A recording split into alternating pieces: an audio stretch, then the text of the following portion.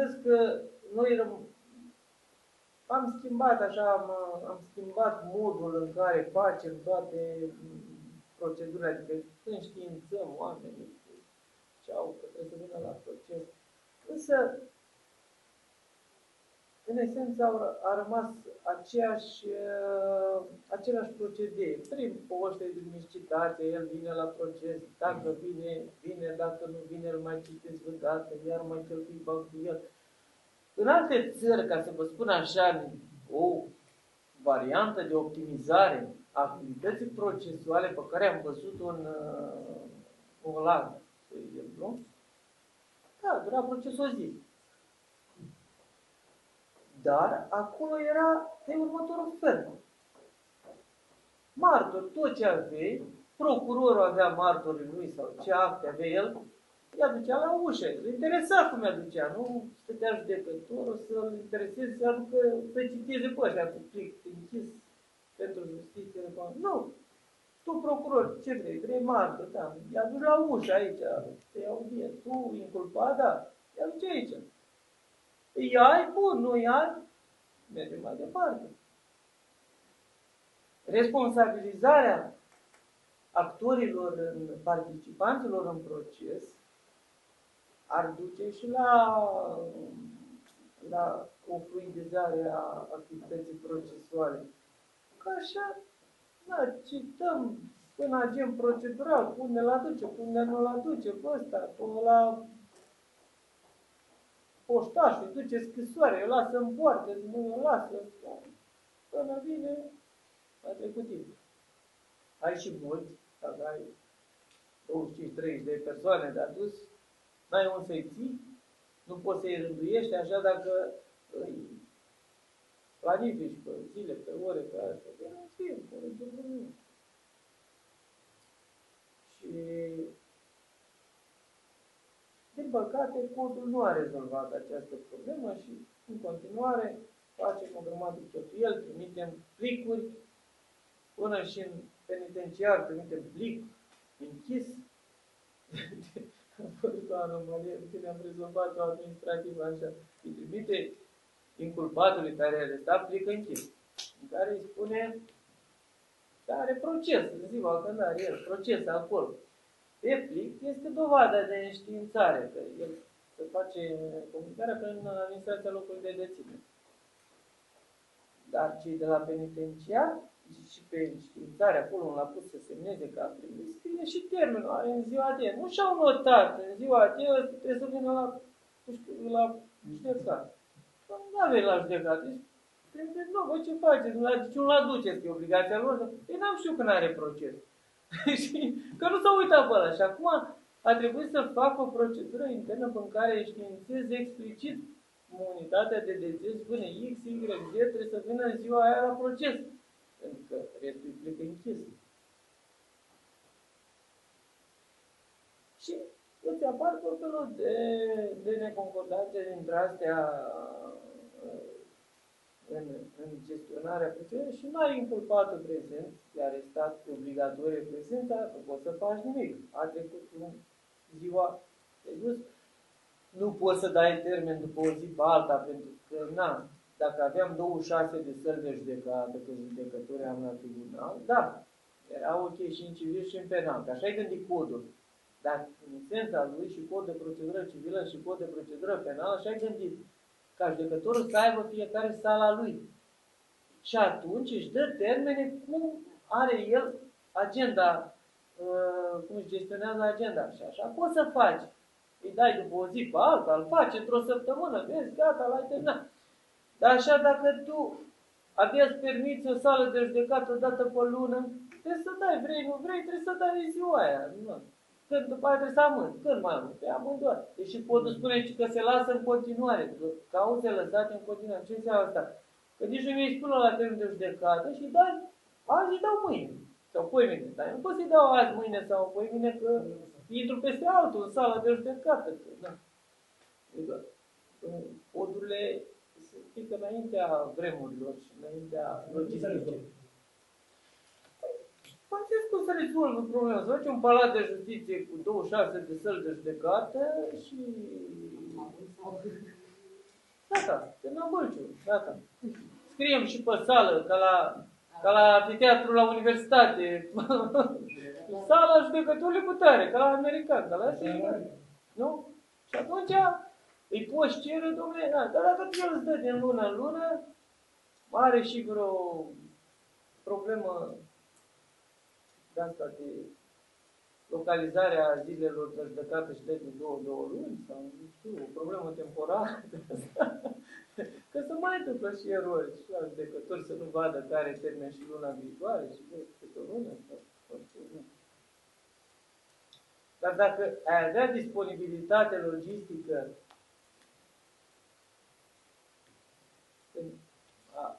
afectată fiecăruia, da, atunci ai zis, băi, dar ce faci? Facem ca antrenorul meu la rugby, făcea, băi, chelții apă, echipament, drumuri, plimbări cu tine și tu nu faci nimic.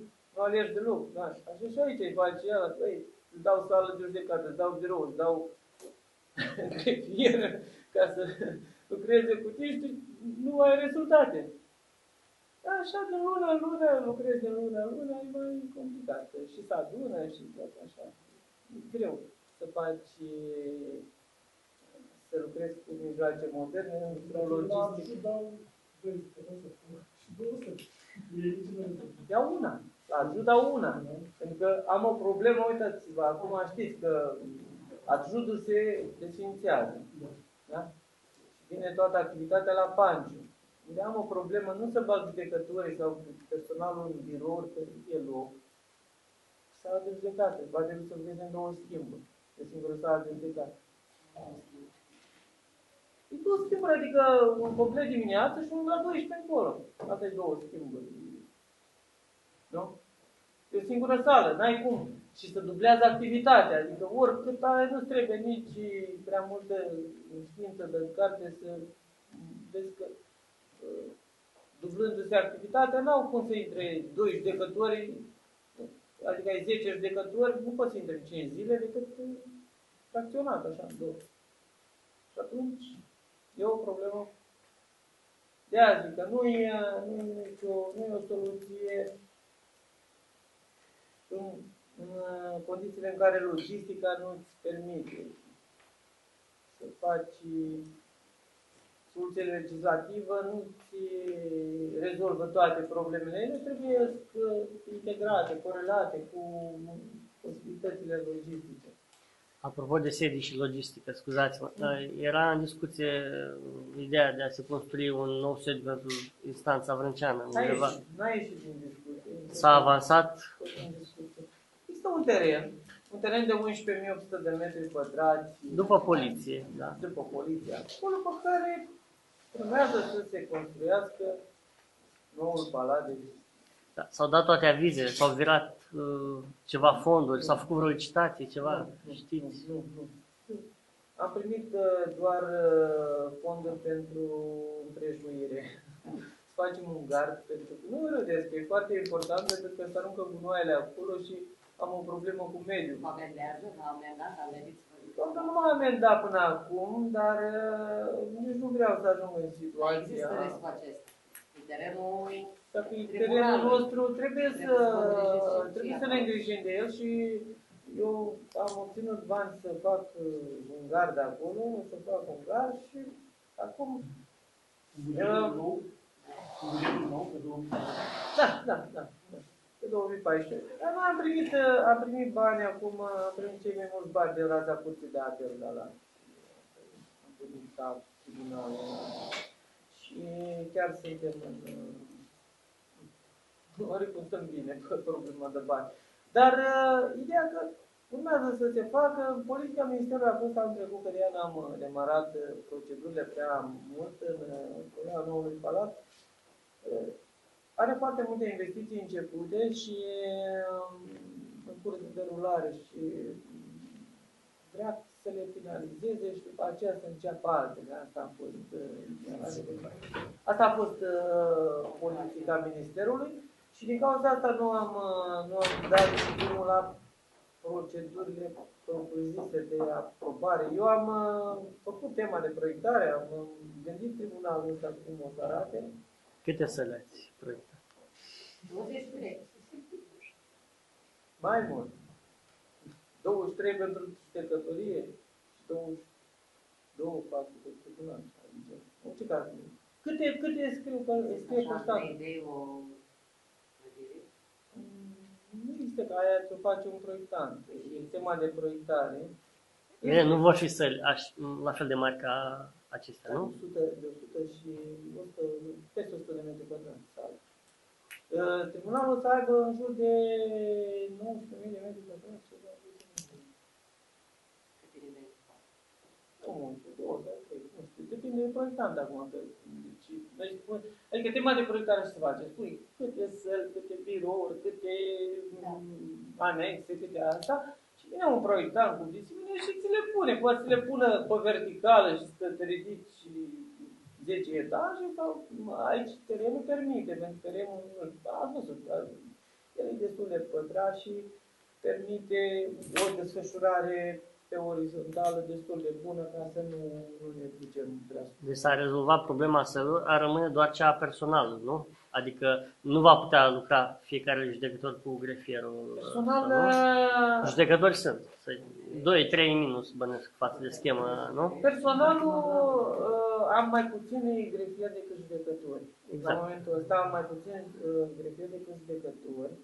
Am 26 de judecători la tribunal, mă refer, dar și la judecătoria cealaltă, și 24 de grefieri.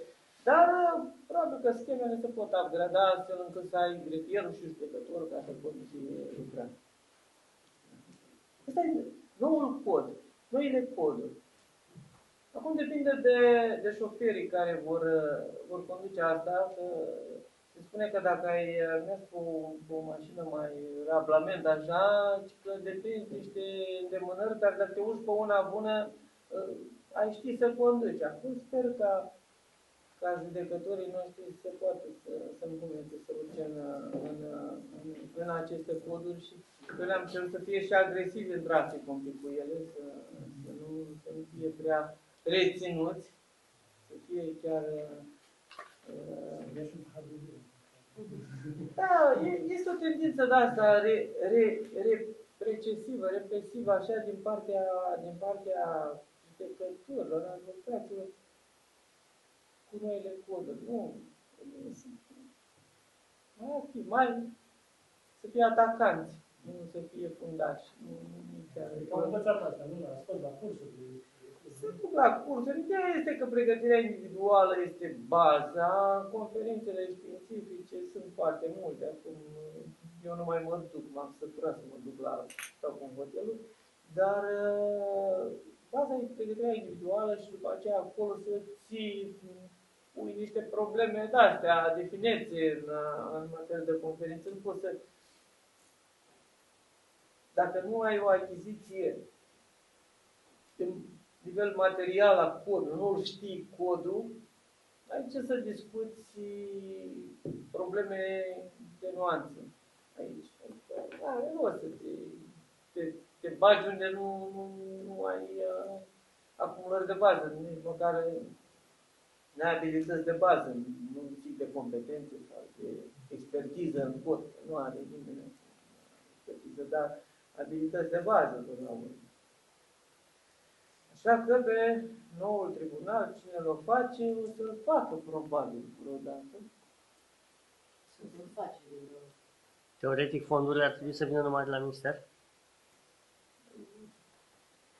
Da, investițiile în zona justiției așa au fost pe, pe bugetul de stat pe minister. Acum se pot face și altfel uh, rost de bani, dar uh, acum depinde cine face rost de ei. Se pot face și În sensul că de la bugetul local sau județean. Deci, uh, la bugetul local, legea de organizare judiciară spune ceva de genul uh, că toate administrații teritoriale, primăria și cu Consiliul Județean la nivel județean, uh, pot acorda și pot uh, face sedii pentru Pentru mai instanțe echipamentelor. pentru instanțe. Dar, uh, repet, nu am văzut vreo investiție în țară care să fie făcută prin uh, rambursarea de fonduri pe, pe linia asta de locală. Poate cu fonduri europene ar fi o variantă. Uh, Este posibil, dar noi nu putem, eu personal, adică tribunalul, nu poate accesa fonduri europene pentru că nu e ordonator principal, că asta se facă prin, uh, prin minister. Tot ministerul uh, accesează fondurile astea europene sau dar sunt programe prestabilite, sunt astea regionale, nu, nu știu, nu, chiar nu mă pricep la fonduri europene, dar, dar uh, nu noi uh, accesăm astfel de fonduri. Da, v-am spus, posibilități, în, da, eu în țară n-am văzut ca autoritățile locale să se implice în, uh, în uh, facerea de fonduri. Cred că suntem singura, singurul tribunal din țară care am primit clădirea asta în folosință gratuită. Că restul le-au primit cu chirie, cu... Asta la schimb. Bun, da. Era și singura instanță din România cu bulină roșie pe ea. Și asta e adevărat. Dacă vă duceți la Ploiești, era să drăme pe ei la Ploiești.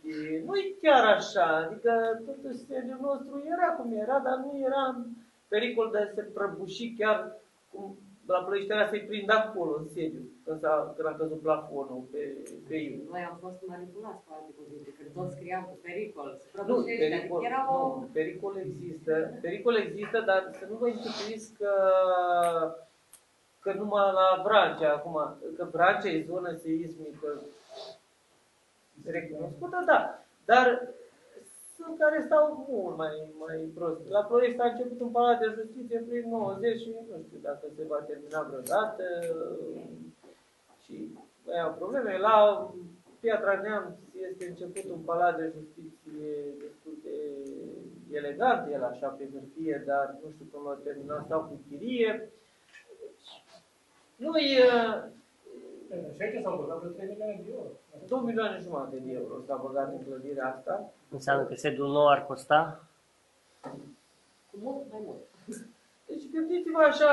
uh, S-a la făcut un studiu vis-a-vis de costuri? Nu, nu, nu. Nu, dar gândiți-vă, da, la un 15.000 de metri pătrați, luați așa un 15.000 de metri pătrați la 1.000 de euro metru pătrat, care, care cât ar însemna cu toate dotările unui tip.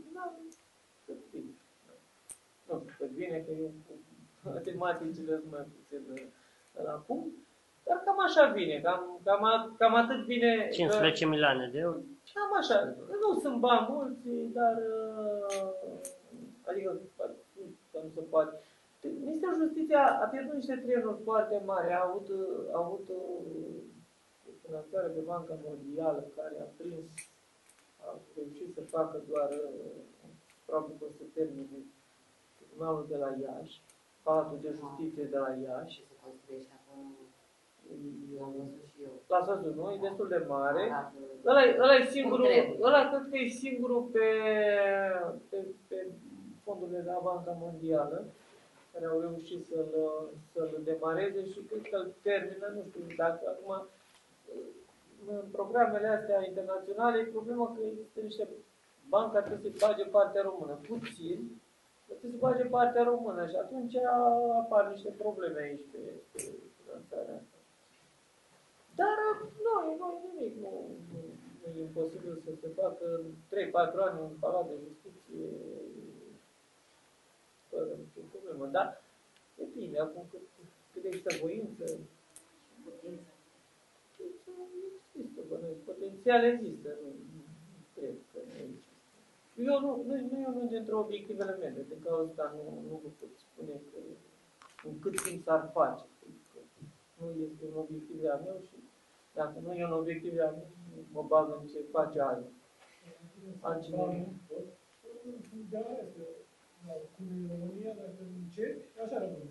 Uh, Cum rămâne Chiar la dacă parchetul. au mai fost bani în alte părți, dar nu s-a construit. Bine, îmi pare că parchetul nu se termină nici în 10 ani. Să știe, na, așa mi se dădea un pronostic de tipul ăsta pentru clădirea asta. Președinta curții de apel ne dea vreo 10 ani, cred. Da? Am plecat cu 900 de mii de lei. La 2 milioane și jumătate, atât am avut când am început, când am făcut licitația pentru execuție. 900 de mii. Și la prima rectificare bugetară ne-a dat toți banii